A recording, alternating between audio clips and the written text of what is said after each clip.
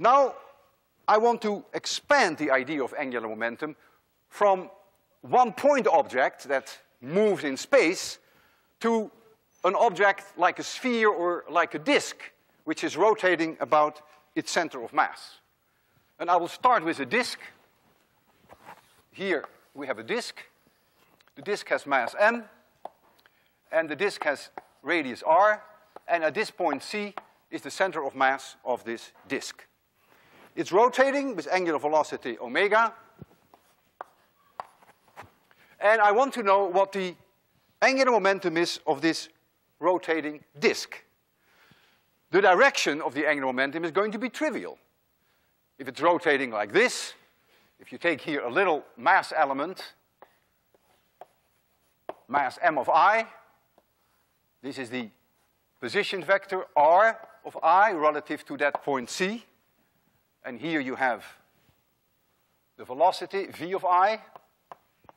Then you see immediately that r cross v is coming out of the blackboard. So that's easy. Angular momentum will be in this direction. But what is the magnitude of the disk as a whole? Well, let's first calculate what the angular momentum is of this little mass element about this point. So L of C for mass element I equals, oh, let's just only worry about magnitudes because already we know the direction. So that is M of I, and then the cross product between R of I and V of I, but this angle is 90 degrees, so I can forget about the sine of theta, so I simply get R of I, V of I. R of I relative to that point C times V of I. This is the magnitude. Now, I hate to see a V of I in a rotating disk because the velocity will depend on how far you are away from the center. The velocity here is zero. However, they all have omega in common. Every single element that you choose has the same omega, so I'm always going to replace, in a case like this, V by omega r. And so this then becomes m of i, r of i of c. I get a square here, and I get omega. So I wrote down V equals omega r, which of course holds in general.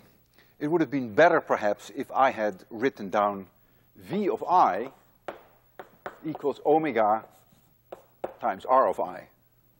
Because each element little i, which has a position vector r of i, has a velocity which is given by v of i equals omega r of i.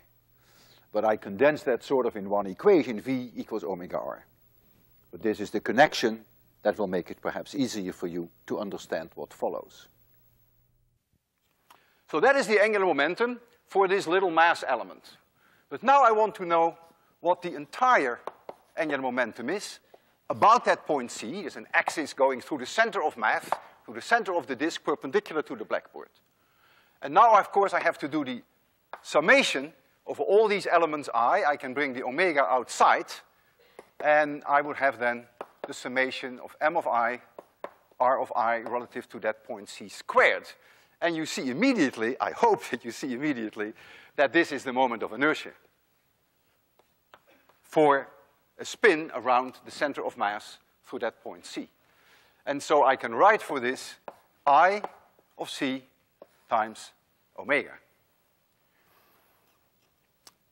Now comes the question, so this is the magnitude. Now comes the question, is this angular momentum different, for instance, for this point A?